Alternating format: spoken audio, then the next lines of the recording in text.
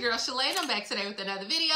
In today's video, we're going to discuss the child tax credit and what's the holdup with our money. And guys, we actually have some good news. They're going to talk about how they want to raise the retirement age. We have a lot of money that you're leaving on the table for your children. Maybe you know about it, maybe you don't know, but that's why your girl is here because I'm going to inform you about this money that you can get for your children as well. So if you want to know where the money reside, darling, you've come to the right place.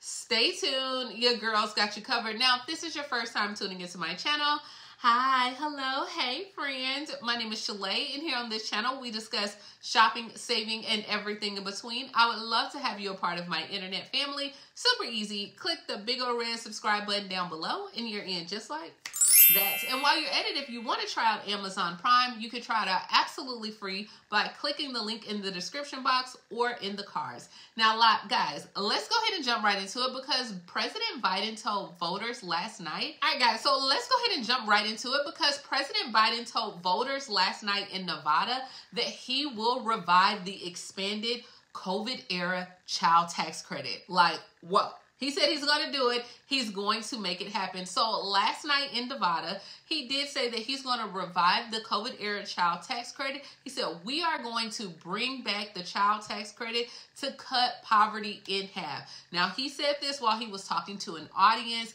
that were asking him questions at a campaign event in Reno, Nevada. We all know right now it's election season. He is on the road. He's talking to people and he said, hey, it grows the economy when women are able to go to work, knowing that they can have a safe place for their children. It also grows the economy in terms of education as well.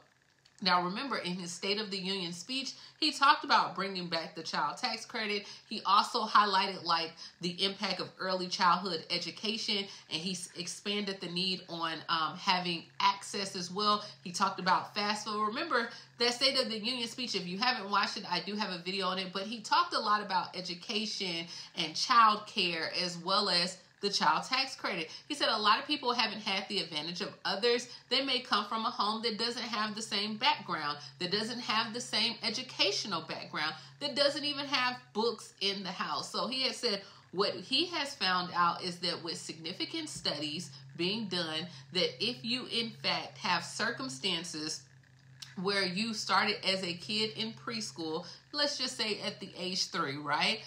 Maybe even four or five, that they have a 50% better chance, 50% to go to school all 12 years through college if they have that access. So this is what he's doing. This is what he's campaigning. Now, guys, are you convinced that the child tax credit is coming back? A lot of people online I was reading, they was like, look, they'll tell you anything. It's voting season again. The Democrats are throwing around money and saying all this stuff like it's a Black Friday deal. I don't know.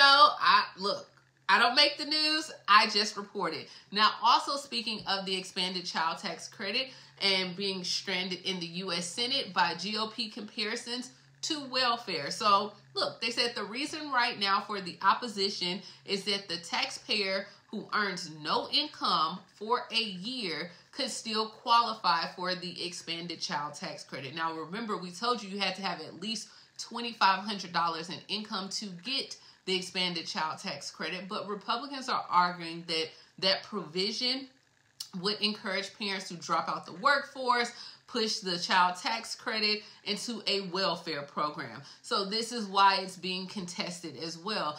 Now, even though you have to have two $2,500, remember in the bill it has a look back provision that would allow households to claim their previous year's annual income on their tax return if it was higher than their current year earnings. So say this year if you lost your job or something and you didn't make that $2500. Well, they could go back and look at last year, hey, you were working, you were doing all the things right and you can still maximize from that child tax credit if there was like an illness, caregiving duties, anything that interrupted your work the Republicans, they don't want that, okay? So as is as the legislation is written right now, families would have the option to look back, they're saying to their 2024, 2025 tax returns. They're going back and forth. But Senator Ron Wyden, who is the chair of Senate Committee Finance, he said the he said the original sponsor of this tax package, he said, look, Talks are ongoing, but I don't want to get down into specifics. I'm not going to comment right now exactly where it stands because you can't do that if you want it done. So he's pretty much like, we can't talk about this and keep putting it out there. We're trying to get it done. So they asked him on March 12th and they, they asked about the negotiations and he said, I'm talking to all my colleagues as well. He said, we got a full court press. The 2023 tax filing deadline is coming up and we're pulling all the stops as well. He said, my timeline that was yesterday, okay? And he said, I mean, I have been working for weeks. We got the 357 votes in the House. We're pulling out all the stops as well. Now, I think he's trying to do everything, guys, but we all know that the Senate is scheduled to go on a two week recess beginning on March 25th. They're always on recess, okay? They're always on recess. But right, so let's go ahead and move on to the House Republican budget that calls for raising the retirement age for Social Security. So here's a new budget by the House of Republicans that wants to raise Social Security retirement age for future retirees and restructuring Medicare for everyone. Now, these proposals are unlikely to become a law this year, um, but it does reflect on how many Republicans will seek to govern if they win the 2024 elections. So the budget was released yesterday yesterday by the Republican Study Committee, and this was a group of about 170 House GOP lawmakers, including a lot of allies of the Republican presidential nominee Donald Trump. Now, for Social Security, the budget endorses more of a modest adjustment which is like an increase to the retirement age for future retirees to account for increasing in the life expectancy. It also calls for lowering benefits for the higher earner beneficiaries as well. Then it also emphasizes that those ideas are not designed to take effect immediately. So this budget does not cut nor will it delay retirement benefits for any senior in the near future. So it'd be like people like me or a little bit older, you know, that's coming into it, we probably would experience the cuts. Now, the new budget does call for converting Medicare to a premium support model, echoing a proposal that the Republican former Speaker Paul Ryan had rallied support for. So, under this plan, they would do where traditional Medicare would compete with private plans, and beneficiaries would be given subsidies to shop for policies of your choice. So the size of the subsidy could be pegged to the average premium or the second lowest price in a particular market, says the budget. Now, this one, if it passed, it would take effect. They also had some budget um, endorsement bills regarding like the abortion and IVF as well. So, what do you guys think about increasing the retirement age? even though some of you that are watching this video, you might not be affected by it, but probably those that are in their 50s or would be going into retirement would be. Also, what do you think about the Medicare? Because that would affect you as well, and being able to pick your own plan or pretty much having plans that were more similar to like the private plans that are on the market right now. I don't know in regards what does that mean for money. You guys will have to comment and tell me down below. Does that mean you would pay a little bit more for those plans or not. Speaking of children and money, a lot of you guys are leaving money on the table First, we're going to go ahead and talk about this guaranteed income program in California, and then I'm going to tell you how to get this money. So there's a new guaranteed income program in Fresno County, California. So if you are Huron as well as 93706 zip code in Southwest Fresno, well, you can be selected to participate in a new guaranteed income program. This will go ahead and pay people $500 a month for one full year. But to be eligible for the $500, you must live in Huron as well as make less than $35,000 a year or you can live in the 93706 zip code in Southwest Fresno as well, and you earn less than $30,000. You have to be over 18 and pregnant or have at least one child that is five years old or younger. Now, the applications opened up for this on March 15th. They're going to go through May 15th. You can apply both in person and online as well. But now, speaking of California, this is where you can get the money for your children, guys.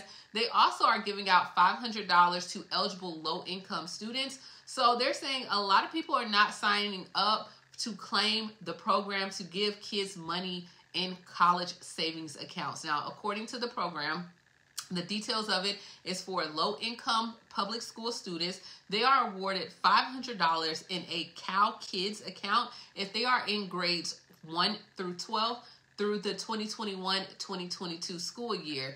If they were enrolled in first grade between 2022 and 2023 school year and any other year, they will give you an additional $500 deposit for students that are identified in foster care or even for students that are classified as homeless. So, as long as children were born in California during that period or they were enrolled in school, but any parent that had a child after June of 2023, you only will be given $100. So, pretty much if they were born or they were in school in 2021, 2022, they get $500. So pretty much you don't get the money to yourself, but they are giving an account for your child $500. It will go into like a 529 account, which is like a college savings account.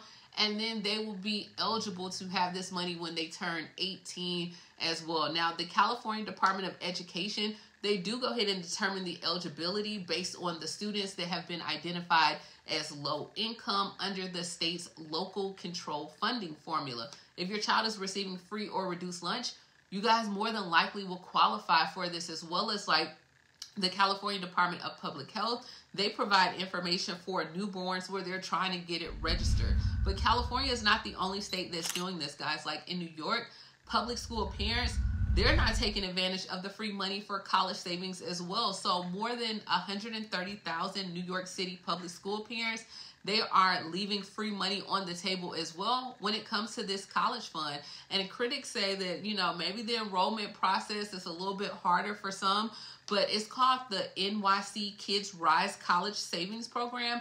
This launched in 2022 all across the city, and the goal was to go ahead and make higher education more attainable for students. So, the program makes an initial investment in New York of $100 in scholarship money for all new kindergarten first as well as second grade students and then they'll continue they'll have this through like it's like a general account but it's managed by the kids rise nonprofit now parents you are obviously encouraged to go ahead and set up the account you can connect separate individualize this account where they can save like their own money. You can add to the money as well. But it also, as long as you do this, it can make them eligible for an additional $175 in reward once you complete all the steps. So they give you 100 initially.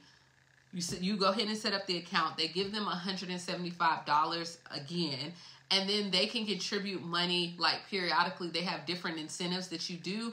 They will go ahead and put that money in your child's account. But they said very few parents have made it through the finish line to collect any cash rewards that are available as well, or they just didn't open the savings account. But I'm gonna say you guys just did not know that this program existed. So no worries at all. If they don't want to go to college, it's okay. They can use that money at that point to either buy a house, go to trade school, do something. It is their money. It is free money and it's an account that you can have for your child.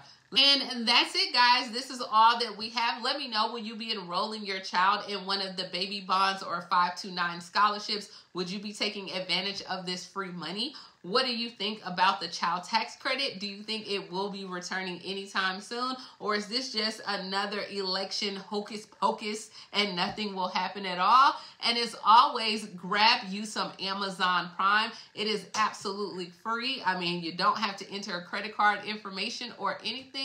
And um, please like, comment, subscribe, and I will talk to you later, Gator. Bye, guys.